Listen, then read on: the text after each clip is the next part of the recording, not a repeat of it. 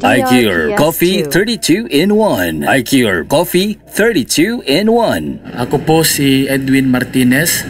Isa po ako sa gumagamit ng iCure Mana Coffee na 32 in 1. Maganda po ang naging resulta nito sa akin kasi naging normal ang pagdumi ko at naging malakas ang aking pangatawan. At higit sa lahat, naging matalas ang aking memorya dahil sa sangkap nitong Gingo Biloba. Maraming salamat po. IQR Coffee 32 in 1. IQR Coffee 32 in 1.